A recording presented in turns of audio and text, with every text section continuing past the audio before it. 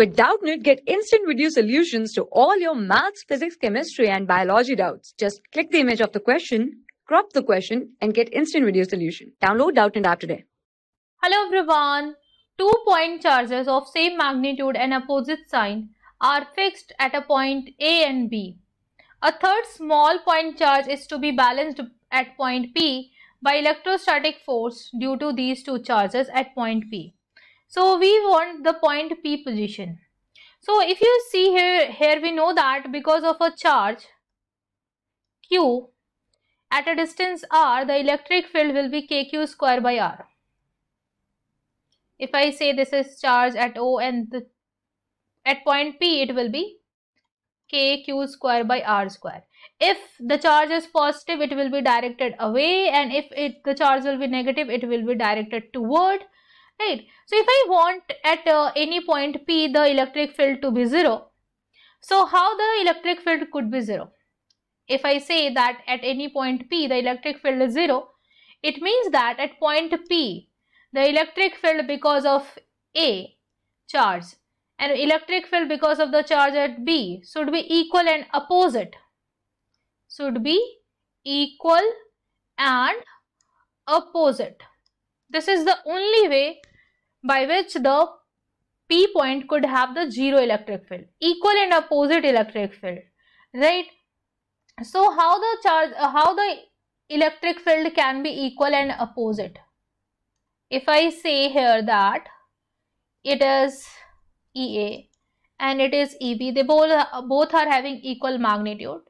So write down KQ square by RA square So the distance from A charge and distance from B charge should be equal. Alright, to have same magnitude. To have same magnitude. But we want the opposite direction equal magnitude equal magnitude and opposite direction. So if you see for the uh, for the magnitude to be same this distance should be equal. So when the distance could be equal it could be only equal on this line on this bisector line. On this bisector line the the distance from A charge and distance from B charge it will be same.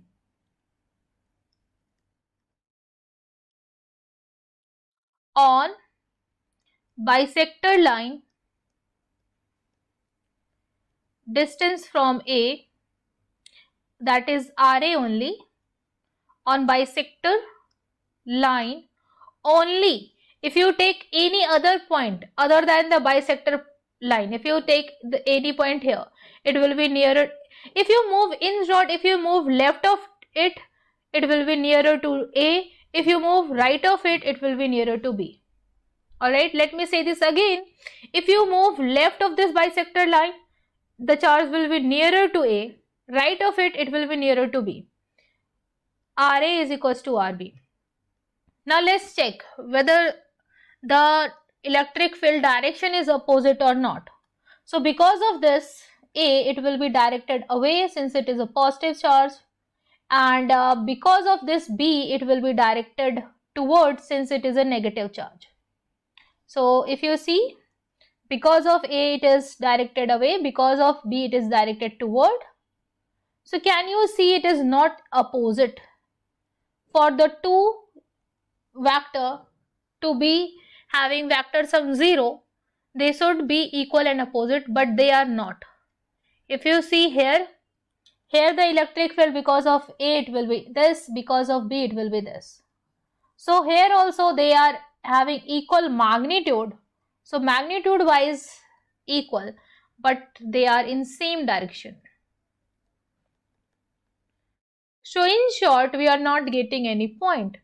On the bisector line the distance of the, uh, the point from the two charges is same but they are not opposite right and the condition is uh, to be the electric field 0 at point P is they should have equal magnitude and opposite direction which is not satisfying anywhere so D is the correct. Thank you. for class 6 to 12, IIT JEE and NEET level.